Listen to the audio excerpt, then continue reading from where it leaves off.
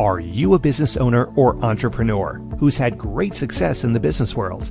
And now you want to launch a speaking career to share your message with the world? If that's you, then listen up. 25 year speaking industry veteran Bret Ridgway has released his latest special report Three Key Things Entrepreneurs Must Master to Build a Profitable Speaking Business. To pick up your copy, go to bretridgway.com forward slash freebie. Welcome to the Spotlight on Speaking show with Bret Ridgway, where you'll learn the keys to building a profitable speaking business from speaking industry pros. Each week, we interview a great guest who will share his or her speaking journey, identify what their keys to success have been, and highlight some critical mistakes they've made along the way that you'll want to avoid. Be sure to visit our website at spotlightonspeaking.com. And while you're there, subscribe to us via your favorite network. Now, sit back, tune in, and get ready to meet this week's guest. Hello again, everyone. This is Bret Ridgway, and welcome to another edition of the Spotlight on Speaking show, where each week I do interview various industry speakers. Could be a keynote speaker, could be a platform seller, could be somebody who's just using speaking as a marketing arsenal in their in their toolbox. But this week, my guest is Mitch Axelrod, and Mitch is a 40 plus year entrepreneur, speaker, trainer, and number one best selling Wall Street Journal, Barnes and Noble, and Amazon author. Mitch has delivered over 3,500 seminars, workshops, keynotes, webinars, executive briefings, and clinics to more than a million people on entrepreneurship, sales, values, and life skills. He has helped his clients generate a whopping $3 billion worth of revenue. He's been featured on WABC, bestseller C Suite TV, Sales Talk Radio, and dozens of other media. Mitch has taught at NYU, USC, Notre Dame, and is on the faculty at Harvard's Executive Leadership Conference. He's a Gold Mike Award winner for speaking excellence and an industry and and for his speaking excellence and industry contributions. But Mitch's proudest accomplishment is as a 10 years stay-at-home dad, which is awesome.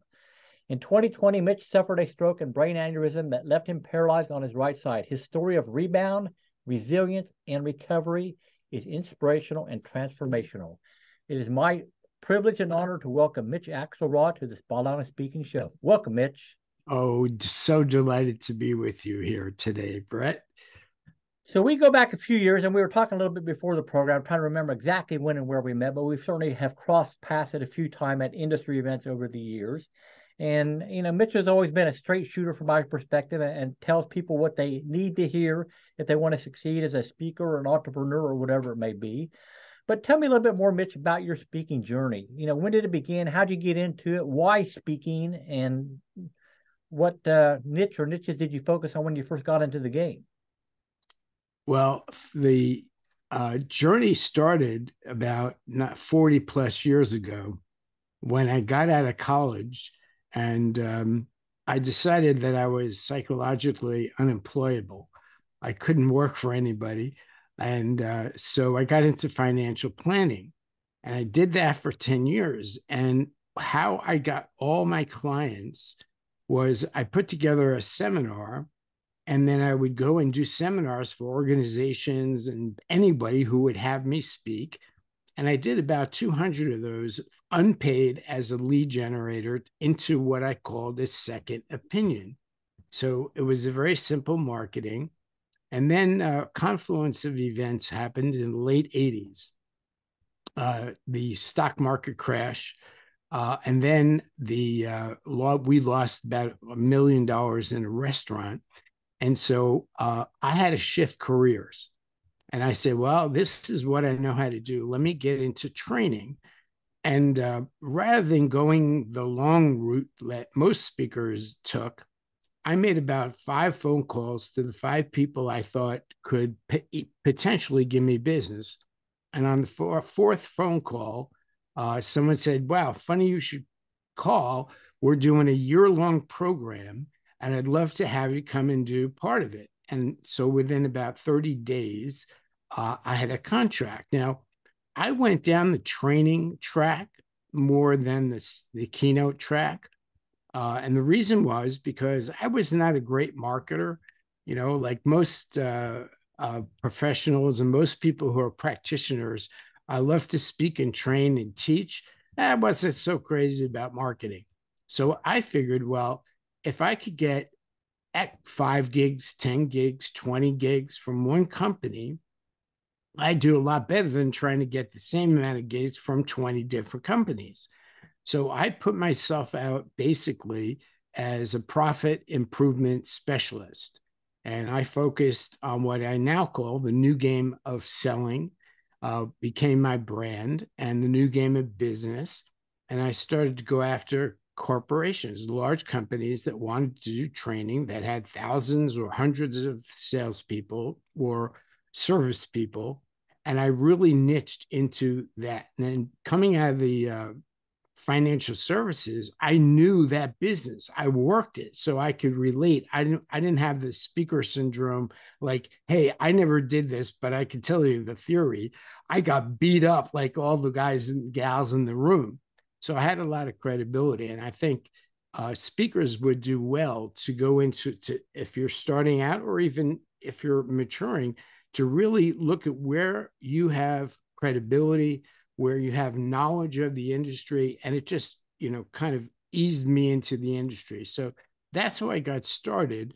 Uh, i actually started with brian tracy who i've known for 35 years and i actually became a distributor of his. And then after three years i developed my first program called 21 ways to double your sales and we'll talk more about that when we get into uh, some licensing because I got one company to to pay me for a day long event. I did the 21 ways. At the end, the guy comes up to me, he says, We love that. We want it. And I have a, a standard question I ask everybody is like, what do you want to do with it? And he said, we want to give it to all 4,000 of our agents. How much? Now, you got to realize back then the cassettes were still in the machine right? and I just came out and I said, you know, Nightingale Conant, who you remember, was selling six cassettes for like 29, 39. So I said to the guy, $10 per person with one condition. You package it, you duplicate it, you ship it. I just want the $10. He said, That's all? I said, Yeah. He said, Done deal. He brought a piece of paper A couple of weeks later, I had a check for 40 grand. And I realized at that moment, I wasn't in the speaking, training, consulting, information game. I was in the intellectual property game. It went from my mouth to the cassette recorder back then. He heard it. He said, I want it. And without a sales letter or a funnel or anything else, I made 40 grand on that. I never, ever did the seminar again I produced it as a six cassette album, sold a thousand of them through space ads. And that one title literally made me hundreds of thousands of dollars over the next couple of years. Never did the seminar again. Well, so I, that I, got me going into the industry. Yeah, I think it's so interesting. Number one, that you got your start basically because of relationship capital that you built up and reaching out to people that knew you and trusted you, and and that's how you got your start. And I talk about it all the time. You, I think relationships are your most important business asset. Yep. So nurture those very carefully. But number two, you touched on something, Mitch, that I don't think most people give thought to because if they're speakers, they're thinking about getting on the platform and sharing their message, and and and maybe they, you know, eventually start to get some thought to, hey, well, I need to have back end product or services to, you know, t- tag on to along to this speaking or whatever but you've approached it from a standpoint that I don't think very many people ever think about, and that's it's, it's intellectual property, and you can do a lot more with it than just, you know, speaking from the stage, so to speak. Well, you know, there was as a Yogi Berra used to say, when you come to a fork in the road, take it. Right. So I was at a fork in the road, and it was okay. Do I go down the path of all my colleagues, Brian Tracy, uh, Stephen Covey at the time, Michael Gerber. I shared the platform with all these guys, right? Mm-hmm. And I noticed one thing that I wanted nothing to do with. They had warehouses filled with inventory, which was good for you because that was the product business. And then they had the pressure of having to sell to get the return on that inventory, the profit. And I said, this is kind of bass backwards. What I'm going to do is I'm going to sell the IP first, carry no inventory, and and and target audiences where they have to duplicate it themselves. I just want the profit. And I turned a, a, a, very heavy inventory overhead business into a high profit business by just looking at it as, as intellectual property, not as product. And it and essentially I became the only Burger King in the entire industry of McDonald's. For everyone else, they're saying, oh, you'll take it the way we created it. And I said, you can have it your way. How do you want it? Mm-hmm. And then I would give it to them their way. So it was a whole different, and it just opened up huge possibilities because in addition to not having overhead, I could take the parts and the pieces. I'll tell you a story about that. How I realized you got to listen to your clients, you know. Um, so really quick. So I from that 21 ways to double your sales, that same company a year later came back to me and said, "We have we want a new training program. We're looking outside the company. We're looking at Brian Tracy, Stephen Covey, and Tony Robbins." I said, "What do you want with me?" I said, Would you like to throw your hat in the ring? You have credibility. I said, Sure. So what do I do? I go home and I write out a table of contents. I cannot tell you how unbelievably simple and valuable having a table of contents is. What I sold the 21 ways faxing the table of contents to the company. I hmm. go back in there and I propose to them that instead of them buying 4,000 units at $250, a million dollars, and then 200 a year through attrition, put me in a studio. I'll record a program. I'll license it back to you for one time 250 grand, and you will put me on the map. And they said they couldn't believe it. What's the catch? I said, there is a catch too. One, after six months, you roll it out, you're going to endorse me to your five biggest competitors. They never heard anybody say that before, right? I said, second, you're going to do a press release that says that of all the people you searched, I'm the guy you chose to roll out your training. Those two things put me on the map. So when I say to people, do you believe a sheet of paper, one sheet of paper could be worth six figures or maybe seven? Yeah, obviously, absolutely. Yes. So tables of contents, if you don't have a program or you want to develop another program, don't produce it. Produce a table of contents. Go pre-sell it to somebody. Let them record it. License it, sell it back to them on a favorable deal. I got all of my IP produced, paid for before I created it. I did not pay for any of my IP, and I've got an extensive library. So that was a shift in thinking. So one more story. I so now I have this big workbook I'm carrying around. Remember the big fat work three ring binders, it oh, sits yeah. on one side, right? I go into a client. He looks at me. He says, "What's that?" I said, "That's my new baby. You know, two hundred and fifty bucks for you." He said, "I ain't buying it. What else you got?" Where do you go from there? He said to me, "Open up the table of contents." Okay, he said I had 37 modules, which was kind of the style back then. Mm-hmm. He says, I want these five modules. How much? Now I'm a Jersey guy. He's a Jersey guy. I said, okay, I'm going to get this guy to spend 250, $100 a module, $500 for five modules. And smugly, I sat back thinking he's going to say, I might as well buy the whole workbook, right? For 250. He said, sold. I said, sold? What are you, what happened here? He says to me, Mitch, you're trying to give it to me my way, your way. I don't want it your way. If I buy that thing, that thing, nobody will open it.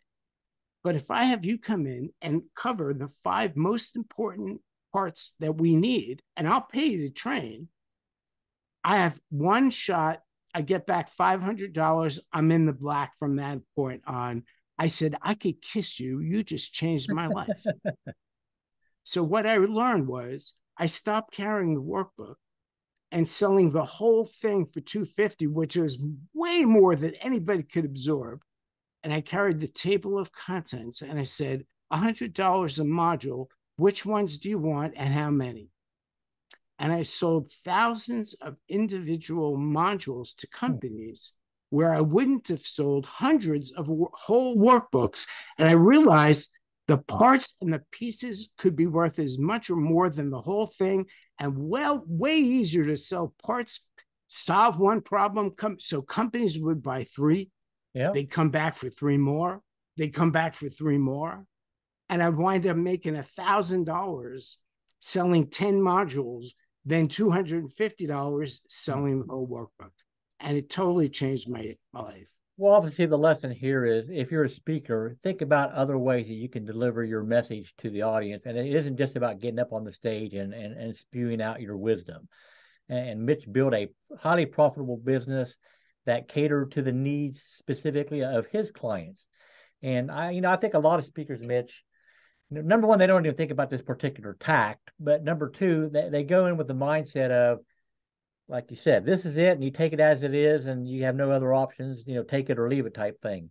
And by giving them the the module option or whatever, you open up a whole arena that you know basically probably didn't even exist so much in the industry at all. So, kudos to you, sir. You know, I, I often say to people the old 80 20 rule, I use it in relationships with clients, and I, I talk 20% and I listen 80%. percent mm-hmm.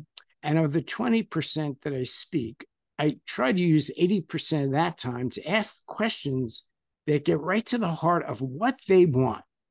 And I try, I tell people, you know, I have the only training program I know of for sales where there's no module on handling objections.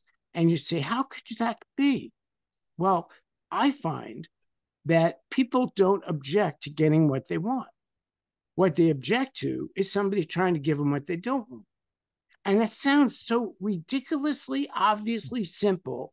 And I tell people, why are we trying to give people what they don't want when you could just give them what they want and not force them to take all the stuff they don't want to get what they do want? And then they begin to see, oh my God, that um, five part series or 10 part book or 12 part uh, web, webinar program, whatever, is 5, 10, 12 individual pieces of IP that if you unbundle and really deconstruct and look at your IP as pieces and parts, you might double, triple, quadruple the number of options you can give somebody. So they don't have to object to getting what they don't want. They just get what they do want. And then you come back and give. So one nugget of wisdom is worth pounds and pounds of information. So we're not in the information game, we're in the wisdom game, we're in the problem solving game. And that game is one nugget at a time, one problem at a time, one solution at a time. That's how I've always approached it and seems to work out pretty well. So you consider yourself, I take it, more a trainer than a speaker from our conversation. So as a trainer, what do you feel some of your three biggest keys to being successful as a trainer have been? Well, I'll make one slight adjustment to what you said. That's fine. I don't like labels. So I don't call myself a speaker. I do speak. I don't call myself a trainer. I train. I those are modalities of delivery. So speaking is business, right? If you want to be a keynote speaker, it's a business. You got to focus on that business.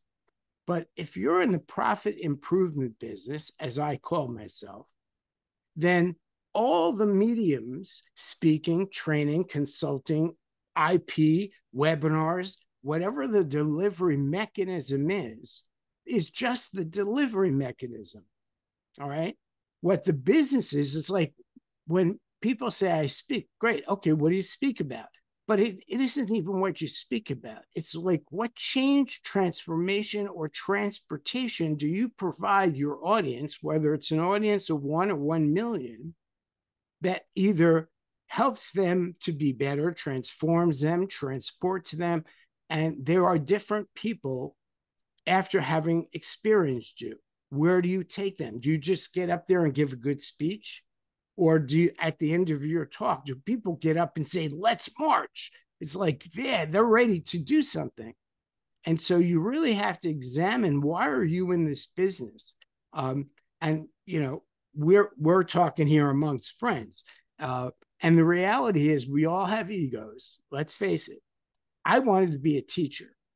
But when I got out of college, teachers were paid like eight grand a year. And I said, I don't want to do that. So I found that I was really good at teaching uh, more valuable information that higher had a higher value than teaching in a school, let's say. Mm-hmm. Right. And that's why I gravitated toward doing more training. Plus, it was much easier um, to get two or four or six gigs, whatever, from one company. You know, I, I was good at selling, but I wasn't good at marketing. So I figured, you know, if I'm in a relationship, you said it really great. Relationship capital is more valuable than money. Money comes, money goes. Money is consumable, but relationships are forever and they pay off. I mean, we haven't spoken in quite a while, and you reached out to me. It's like, whatever you need, I'll do based on the longevity, based on this solid relationship we had. You know, you meet people, you don't talk to them in five, ten years, you pick up right, right where you left off. Yeah. So I agree with you. Relationship capital, um, looking to get multiple gigs from one company, and then figuring out, you know, what value do I bring? What real transformation do I? And the only way you find that out is to ask your clients one question why do you hire me? Why do you buy from me? Why do you use me? And that one question has produced literally hundreds of millions of dollars for my clients. So those are some of the things I would suggest. Those are all such excellent points, Mitch. And I have a couple other questions I want to ask you. But before I do, let's take a quick break with a word from our sponsor. Are you a business owner or entrepreneur who's had great success in the business world? And now you want to launch a speaking career to share your message with the world. If that's you, then listen up. 25 year speaking industry veteran Bret Ridgway has released his latest special report Three Key Things Entrepreneurs Must Master to Build a Profitable Speaking Business.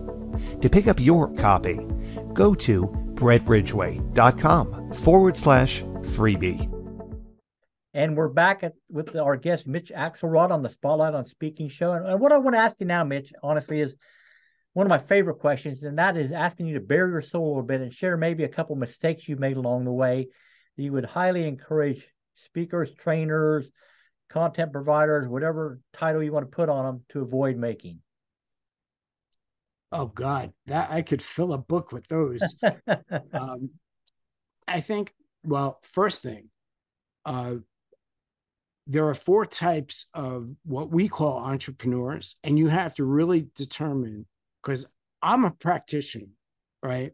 I'm not looking to build a million dollar empire. So, like, if you try to build something that you're not capable of, or you're not really passionate about, or that you're trying to do because somebody else's model, you're trying to, I think the most important thing is both a double edged sword. It's a mistake I made, you know, looking outside and saying, oh, those guys are successful. I might as well model them. That works to a certain point. But in today's world, you have to find your uniqueness. And that's an inside out game. So uh, for the mis- for the people who are seeking the solutions and the answers, take your cues from out there, get advice, but you got to go in here and see, you know, what makes you unique, especially if you're a speaker, because you know, speakers are a dime a dozen that not when I started, there weren't quite as many. So there was less competition.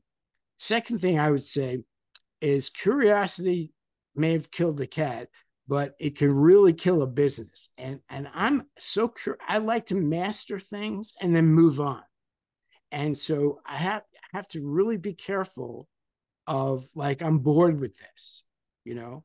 Uh, and and your your customers customers don't leave companies, companies leave customers. Hmm. That's what I found. Okay. When you think about it, so think in terms of what some of the biggest mistakes people make. I made it initially because I was looking for the next sale, But I didn't realize, oh my goodness, this client can pay me so much more in referrals, new business, endorsements, testimonials, introductions. All right. So it was like, you don't need a whole lot of people. You need a core group of people who are really strong and will help you with anything. Um, and then one thing I didn't do, which I learned to do later, and I call it the three list uh, formula. One list is keep track of all the people that love you that would help you no matter what. And we all need help. Second thing, your clients who you've done the best work for, who would love you and would help you. And then third list is whether it's the names of companies or industries or whatever that you would really like to get into. And when you look at those three, chances are good if you go back to 10 people in each of those three lists or the first two, you could get to a third list, hmm. right? And and I was scattershot. You know, I'd take whoever wanted me to be a client. And I once I got really clear that train, I was good at training. I wasn't, I didn't call myself a trainer, but I was good at training. I realized I could go in and propose longer term deals. Uh, and whether it be six months or six gigs or whatever it would be. So um, those are some of the mistakes that I learned early on. I would say the biggest thing is don't make the same mistake three or four or five times. Try to, you know, learn the second time. All right. Well, it's been so awesome catching up with you, Mitch, and I appreciate so much you jumping on here today and sharing your expertise with with folks. If they wish to get into Mitch Axelrod's world and find out a little bit more about what you're doing these days, how do they do that?